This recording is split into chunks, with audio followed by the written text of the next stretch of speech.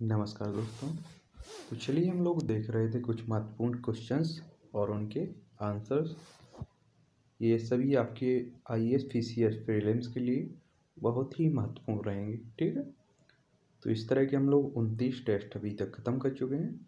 ये आपका तीसवा टेस्ट है। तो चलिए देखते हैं तीसवें टेस्ट का पहला क्वेश्चन क्या है।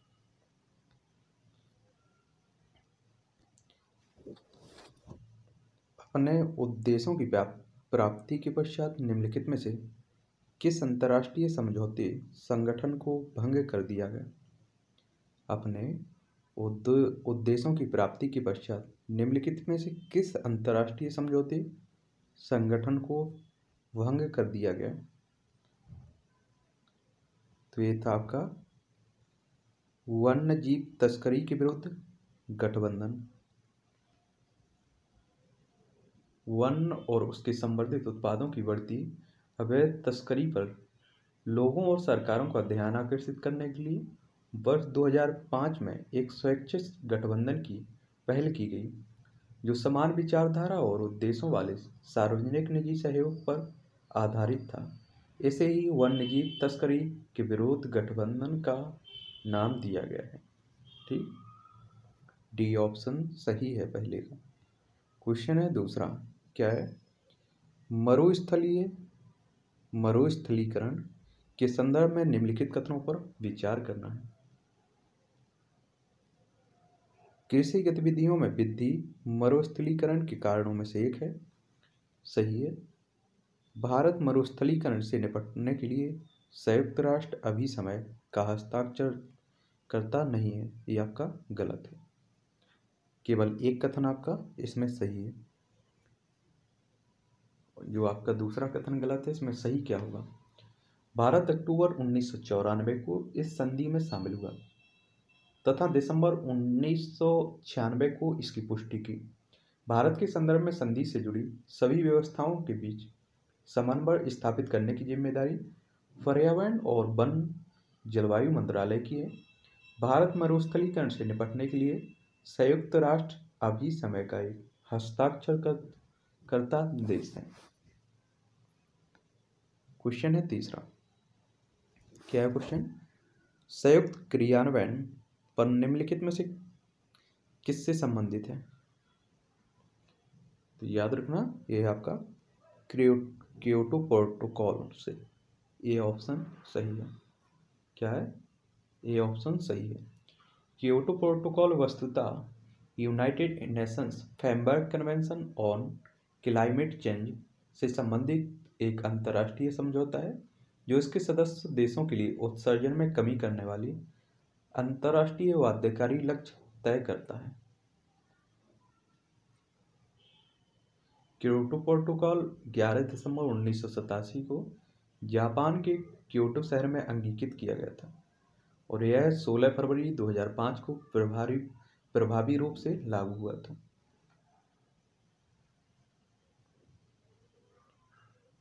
क्वेश्चन है तीसरा। क्या है क्वेश्चन नंबर तीसरा? सॉरी क्वेश्चन था ये आपका तीसरा?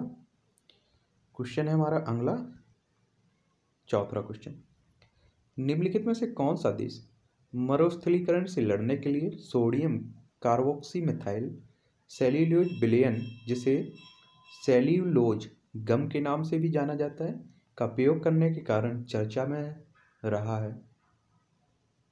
तो ये था आपका चीन। कौन था? चीन। सी ऑप्शन सही है। अगला क्वेश्चन है हमारा पाँच। निम्नलिखित कथनों पर विचार करना है। निम्नलिखित कथनों पर हमें विचार करना है। ग्लोबल टाइगर फॉर्म एकमात्र अंतर सरकारी और अंतर्राष्ट्रीय निकाय, जो विश्व भर में बाघों के संरक्षण के लिए अभियान चला रहा है। ये आपका सही है। ग्लोबल टाइगर फॉर्म का सचिवालय ढाका में अवस्थित है। ये आपका गलत है। इसमें कथन एक आपका केवल सही। उन्नीस सौ चौरानबे में स्थापित हुआ था ग्लोबल टाइगर फॉर्म। इसका सचिवालय नई दिल्ली में है। कहाँ है? नई दिल्ली में। याद रखिए, इसका सचिवालय नई दिल्ली में है। क्वेश्चन है पाँच, छठवा। निम्नलिखित कथनों पर विचार करना है। निम्नलिखित कथनों पर विचार करना है। वेसल अभिसमय खतरनाक अपशिष्टों की सीमा पार आवाजाही को नियंत्रित करने और उनके निस्तारण हेतु एक अंतर्राष्ट्रीय संधि है। सही है? मिनीमाटा अभिसमय मरकरी और इसके यौवकों से मानव एवं पर्यावरण की रक्षा हेतु एक अंतर्राष्ट्रीय संधि है। ये भी आपका सही है। यानी कि क्वेश्चन नंबर छः में आपके दोनों कथन सही है सी ऑप्शन सही है। क्वेश्चन है सात। क्या है क्वेश्चन नंबर सात। ओजोन परत संरक्षण के संदर्भ में निम्नलिखित कथनों पर हमें विचार करना है। ओजोन परत के संरक्षण के संदर्भ में निम्नलिखित कथनों पर विचार करना है। भारत मॉन्टियल प्रोटोकॉल का भागीदार है। लेकिन बेना कन्वेंशन का नहीं, ये आपका गलत है। मॉन्टियल प्रोटोकॉल इसके सदस्य राष्ट्रों के लिए बाध्यकारी है, ये सही है। एच एफ़ सी एस को चरणबद्ध तरीके से हटाने के लिए किगाली संशोधन द्वारा वियना कन्वेंशन में संशोधन किया गया था, ये आपका गलत है। सातवें क्वेश्चन में आपका केवल दूसरा कथन सही है, बाकी एक और तीन गलत है। वेना कन्वेंशन वर्ष 1985 में स्वीकार किया गया और वर्ष 1988 में लागू हुआ। 1985 में स्वीकार किया गया और 1988 में लागू हुआ। ओजोन परत की रक्षा के अंतर्राष्ट्रीय प्रयासों के लिए एक फ्रेमवर्क के रूप में कार्य करता है। हालाँकि इसमें सी एफ़ सी एस के उपयोग के लिए कानूनी रूप कानूनी रूप से बाध्यकारी लक्ष्य शामिल नहीं है।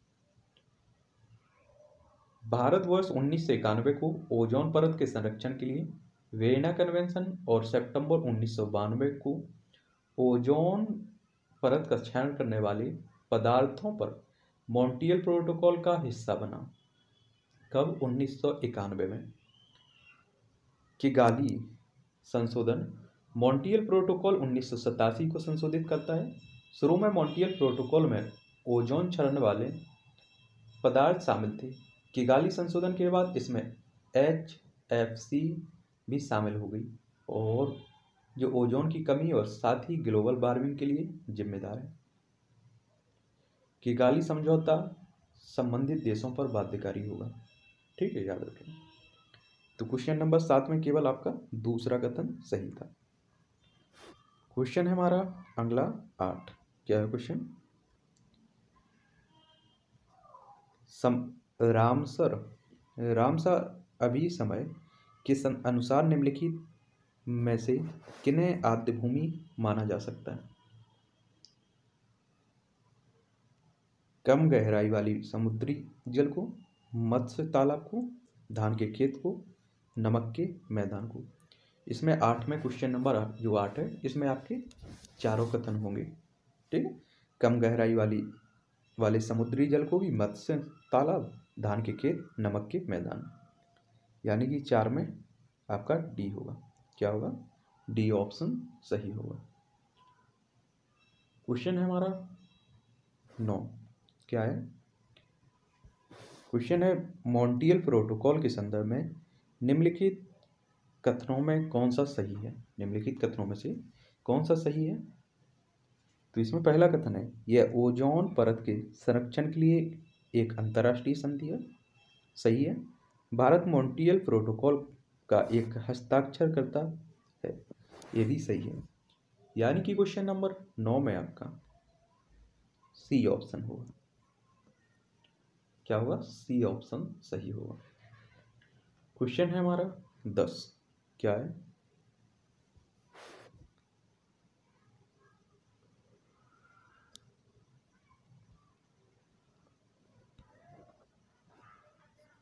क्वेश्चन है दस सिक्योर हिमालय परियोजना के संदर्भ में निम्नलिखित कथनों में से कौन सा सही है?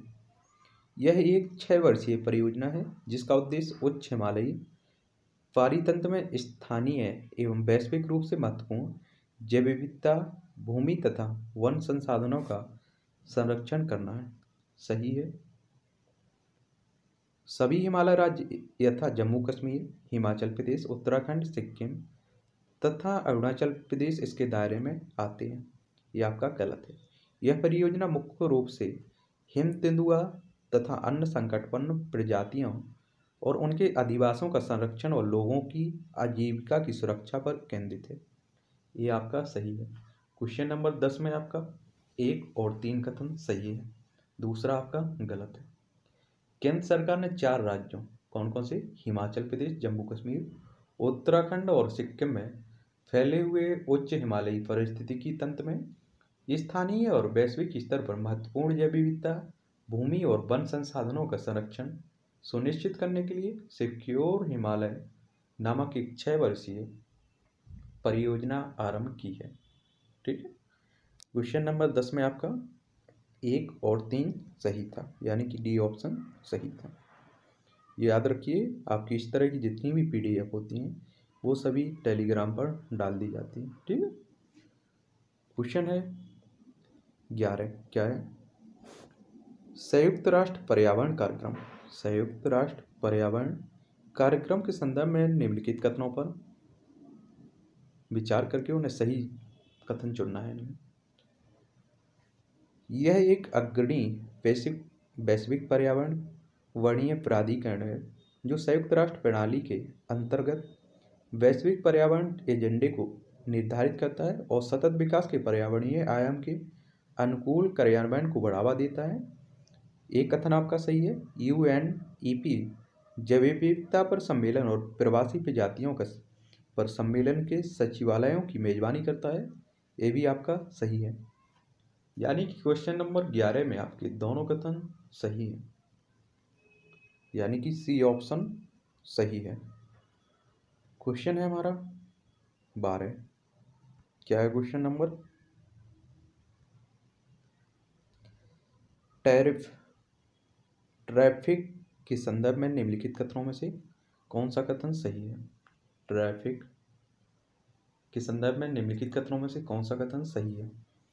ट्रैफ़िक एक अग्रणी और गैर सरकारी संगठन है, जो जैव विविधता संरक्षण और सतत विकास दोनों के संदर्भ में वन्यजीव एवं पादप पर, व्यापार पर, वैश्विक स्तर पर कार्य कर रहा है। सही है। ट्रैफ़िक का 2020 का लक्ष्य जैव विविधता पर अवैध और अस्थिर वन्यजीव व्यापार के दबाव को कम करने में मदद करना, वन्यजीव संरक्षण तथा मानव कल्याण के लाभ को बढ़ावा देना है, जो धारणीय स्तर पर व्यापार से प्राप्त होता है। ट्रैफ़िक का उद्देश्य सुनिश्चित करना है कि वन पादपों और जंतुओं के व्यापार से प्रकृति के संरक्षण को कोई खतरा ना हो। आपके तीनों कथन सही हैं। बारह में आपका तीनों कथन सही हैं, यानी कि आपका डी ऑप्शन सही होगा। क्वेश्चन है तेरह अगला। क्या है क्वेश्चन निम्नलिखित में किन्हें मरुस्थलीकरण का कारण माना जा सकता है? निम्नलिखित में से, किन्हें मरुस्थलीकरण का मरुस्थलीकरण का कारण माना जा सकता है? शुष्क और गर्म जलवायु दशाएँ, ग्लोबल वार्मिंग और निर्वनीकरण, अनुसूचित, सॉरी, अनुचित खेती के माध्यम से भूमि का अतिदोहन अधिक चराई, इसमें आपके चारों कथन क्या है? चारों। यानी कि तेरह में आपका डी ऑप्शन सही है। क्वेश्चन है? चौदह। क्या है क्वेश्चन नंबर? चौदह। आद्य भूमियों पर अंतर्राष्ट्रीय अभिसमय के संदर्भ में निम्नलिखित कथनों पर विचार करना है। हमें आद्य भूमियों पर अंतर्राष्ट्रीय अभिसमय को रामसर कन्वेंशन कहा जाता है। इस पर 1971 में हस्ताक्षर हुए थे। सही है। अंतर्राष्ट्रीय महत्व के उन आद्य भूमि स्थलों का रजिस्टर जहाँ तकनीकी विकास, विदूषण या अन्य मानवीय हस्तक्षेपों के परिणाम स्वरूप पारिस्थितिकी स्वभाव में परिवर्तन हुआ है, या हो रहा है, या होने की संभावना है, उसे मॉन्टेक्स रिकॉर्ड कहा जाता है। भारत रामसर कन्वेंशन का एक हस्ताक्षरकर्ता देश है। इसमें आपके तीनों कथन सही हैं। क्वेश्चन नंबर चौदह में आपके तीनों कथन सही हैं। यानी कि डी ऑप्शन सही है। क्वेश्चन है आपका पंद्रह, क्या है? घातक पदार्थों की सीमा पार आवागमन और निष्पादन से संबंधित पर कन्वेंशन के संदर्भ में निम्नलिखित कथनों पर हमें विचार करना है। बेसल कन्वेंशन घातक पदार्थों की सीमा पर पार संचलन पर नियंत्रण और उसके निस्तारण से संबंधित है। सही है? भारत ने वेसल कन्वेंशन की पुष्टि नहीं की है और वह इस कन्वेंशन का पक्षकार नहीं है। ये आपका गलत है। बेसल कन्वेंशन राष्ट्रीय सीमाओं में अपशिष्टों के संचलन के लिए नोटिस, सहमति और निगरानी हेतु तो कठोर नियमों को लागू करता है। ये आपका सही है। इसमें पंद्रह में आपका केवल दो कथन गलत है, बाकी एक और तीन सही है। याद रखना, भारत बेसल कन्वेंशन का एक हस्ताक्षर करता देश है, लेकिन अभी तक कन्वेंशन का पक्षकार नहीं बन पाया। ठीक है? तो पंद्रह में आपका एक और तीन सही था, यानी कि सी ऑप्शन सही है। क्वेश्चन है सोलह। क्या है सोलह? क्वेश्चन नंबर सोलह है हमारा। जारी डिक्शनरी ऑफ़ मार्टर्स के संदर्भ में निम्नलिखित कथनों पर विचार करना है। जारी डिक्शनरी ऑफ़ मास्टर्स के संदर्भ में निम्नलिखित कथनों पर हमें विचार करना है। इसके संकलन का कार्य रक्षा मंत्रालय द्वारा किया गया कराया गया ये आपका गलत है। इसे उन अठारह के विद्रोह की 150वीं वर्षगांठ के उपलक्ष्य में जारी किया गया है। ये आपका सही है। यानी कि दो कथन इसमें सही है, बाकी एक आपका गलत है। याद रखिए इसका संकलन कार्य आपका संस्कृति मंत्रालय द्वारा कराया गया है। किस द्वारा? संस्कृति मंत्रालय द्वारा। क्वेश्चन है हमारा सत्रह। क्या है? वर्चुअल सिम कार्ड के विषय में निम्नलिखित कथनों में से कौन सा कथन सही है? वर्चुअल सिम कार्ड के विषय में निम्नलिखित कथनों में से कौन सा कथन सही है? यह एक कंप्यूटर जनित संख्या है, सही है? यह वॉइस कॉल और एस एस एम एस के को डेटा वाईफाई कनेक्शन पर स्थानांतरित करता है। यह आपका सही है, यानी कि सत्रह में आपके दोनों कथन सही है। सी ऑप्शन सही होगा। क्वेश्चन है अठारह, क्या है? गोल्डन हाइट्स समाचारों में रहा है। निम्नलिखित में से कौन सा देश इसके साथ सीमा साझा नहीं करता है। तो ये है आपका मिस्र नहीं करता है। सीरिया करता है लेबनान करता है, जॉर्डन करता है, लेकिन मिस नहीं करता है। गोल्डन हाइट्स दक्षिण पश्चिम एशिया में, इजराइल और सीरिया की सीमा पर 1800 किलोमीटर वर्ग क्षेत्र का एक पथरीला पठार पठार है। यह इजराइल, सीरिया, लेबनान और जॉर्डन से घिरा हुआ है।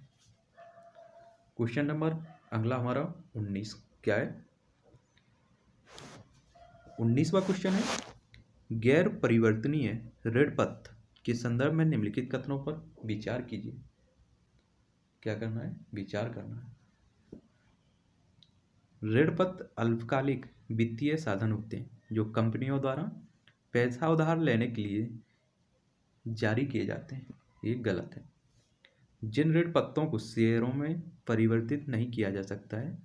उन्हें गैर परिवर्तनीय पत्र कहा जाता है। तो ये आपका सही है। इसमें एक कथन आपका गलत है और दूसरा सही है। ऋण पत्र दीर्घावधि के वित्तीय साधन होते हैं, जो कंपनियों द्वारा पैसा उधार लेने के लिए जारी किए जाते हैं। क्वेश्चन नंबर उन्नीस में आपका सी, सॉरी, बी ऑप्शन सही है, दूसरा। क्वेश्चन है बीस। क्या है क्वेश्चन क्वेश्चन है आपका बीस।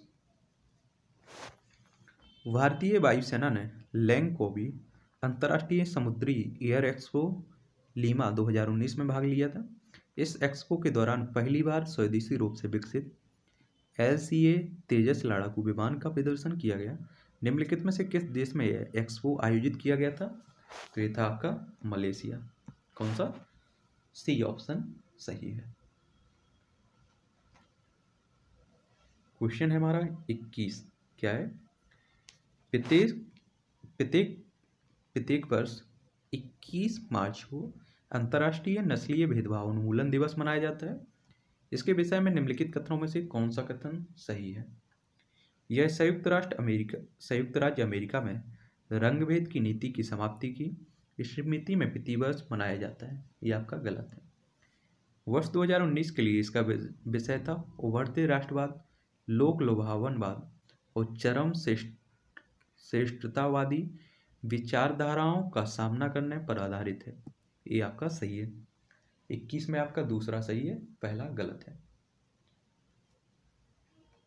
वर्ष उन्नीस छियासठ में इस दिवस की घोषणा की गई, जो दक्षिण अफ्रीका में रंगभेद की नीति को समाप्त करने के संघर्ष को दर्शाता है। क्वेश्चन नंबर 21 का आपका बी था। क्वेश्चन नंबर 22 क्या है? क्वेश्चन नंबर 22 है, नवरोज पारसियों का नववर्ष उत्सव है। इसके संबंध में निम्नलिखित कथनों में से कौन सा कथन सही होगा? इसे यूनेस्को के अंतर्गत भारत की मानवता की अमूर्त सांस्कृतिक विरासत की सूची में अंकित किया गया। सही है। यह बसंत की शुरुआत और वेसव के दिन को चिन्हित करने के लिए 21 मार्च को मनाया जाता है। ये आपका सही है। यानी कि 22 में क्वेश्चन नंबर 22 में आपके दोनों कथन सही है। सी ऑप्शन सही है। क्वेश्चन है तेईस। क्या है? फॉल आर्मी वर्ष आर्मी वर्म के संदर्भ में निम्नलिखित कथनों में से कौन सा कथन सही है? फॉल आर्मी वर्म के संदर्भ में निम्नलिखित कथनों में से कौन सा कथन सही है? यह अमेरिक, अमेरिका की स्थानिक प्रजाति है, सही है। यह मुख्यतः मक्का का उपयोग, उपभोग करती है, ये भी सही है यह भारत में नहीं पाई जाती है यह आपका गलत है। क्वेश्चन नंबर तेईस में आपका एक, दो सही है, और बाकी तीसरा आपका गलत है। क्या है? तीसरा गलत है।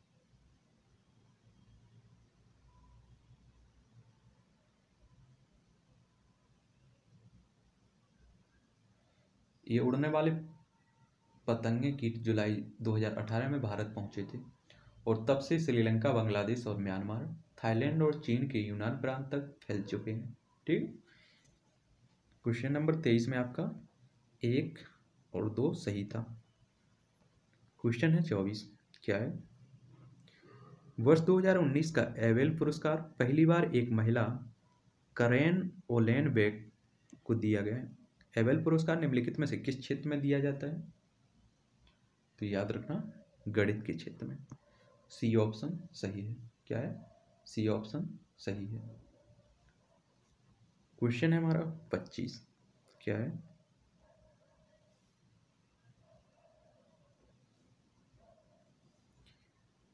विक्वेटा पोइज तब समाचारों में था जब यह मैक्सिको तट पर मछली पकड़ने के जाल में मृत अवस्था में पाया गया।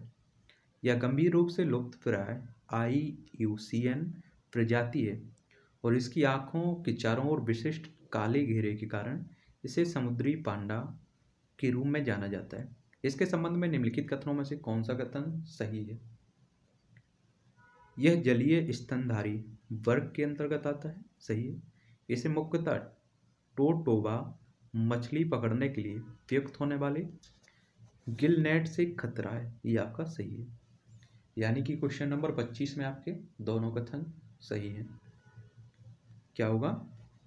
सी ऑप्शन सही होगा पच्चीस का। तो चलिए थे कुछ महत्वपूर्ण क्वेश्चंस और उनके आंसर्स चलिए इसी तरह के हम लोग क्वेश्चंस देखते रहेंगे आगे भी।